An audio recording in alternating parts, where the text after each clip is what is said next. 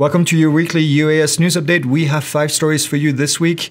A drone crash into a uranium mine, of all things, a GA bill to ban Chinese drones, uh, the North Dakota Senate that rejects the Chinese drone ban, two opposite stories here, the Sumas Police Department that does a really cool rescue, and then lastly, some new DJI products. So let's get to it. And first up, the Don't Be That Guy segment. Unfortunately, uh, an alleged drone collision with mine equipment happened at the Pinyon Plain uranium mine here in Arizona, uh, causing the mine to temporarily close for operation. While the size and type of the drone are unknown at this point, it supposedly struck a safety wire that is used to transport personnel into the 1,400 foot deep mine. Uh, that's according to the Coconino County Sheriff's Office. After crashing into the equipment, the suspect, Bobby Mason, allegedly fled into an F-150, leading to a series of incidents, including two hit and run that happened near and inside the Grand Canyon National Park. Uh, the Coconino County Sheriff's Office has charged Mason with offenses including unlawful operation of, of an unmanned aircraft, aggravated DUI, criminal damage, hit and run, reckless driving, and harassment. So, uh, moral of the story is always the same. Please don't be that guy. Next up, a Georgia bill would require Georgia Emergency Management and Homeland Security to create an approved drone list for public safety and government use. The bill would give agencies a three year compliance window to acquire new aircraft that are on the approved list. Now, if you live in Georgia, please let your legislators know uh, what you think about this and how this would affect your operation. Uh, this is House Bill 205. And then on the opposite side of the fence, we have North Dakota. Uh, North Dakota Senate rejected a portion of a bill that would enact a replacement program for state-owned and operated Chinese drones. State Senator Cal Davison uh, led the motion to strip the text from the bill, citing the significant cost difference between Chinese and American-made drones.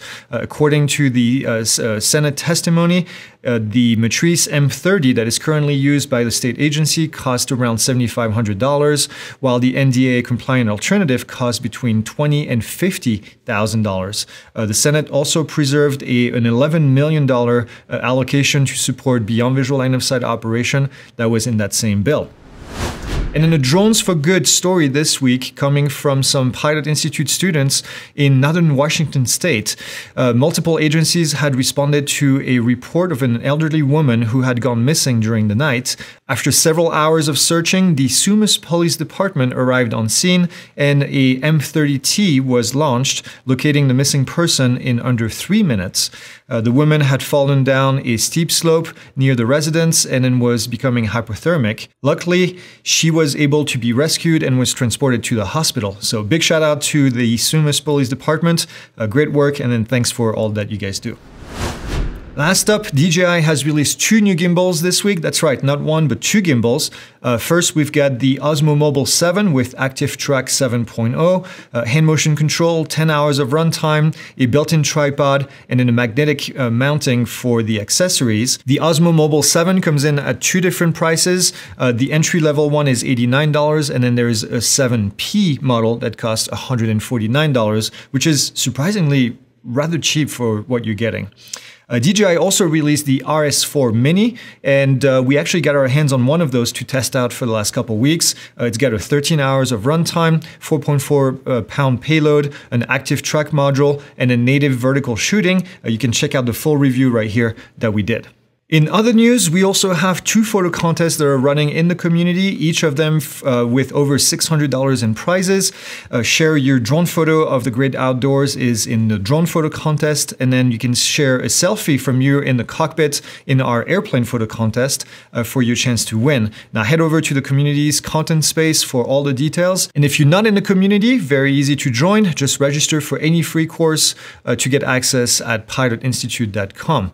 And then join us later today for happy hour in the community. Uh, we also have the live Q&A on Monday and then post-flight on Monday in the premium community. So we'll see you then. Update, we have five stories for you this week and the prompter is not moving forward, so that's not gonna work.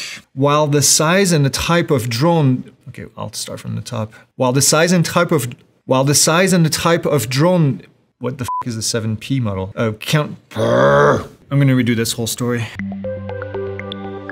Purr.